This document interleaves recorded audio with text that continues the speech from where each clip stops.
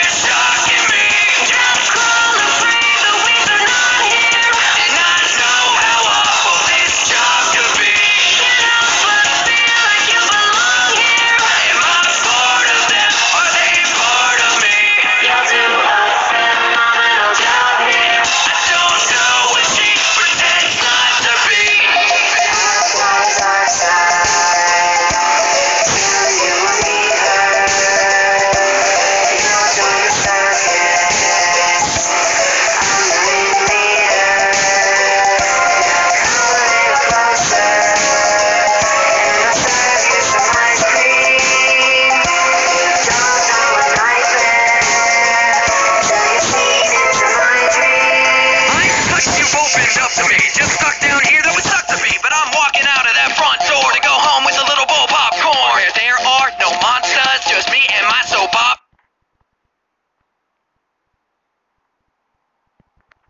And why do I keep on returning? You think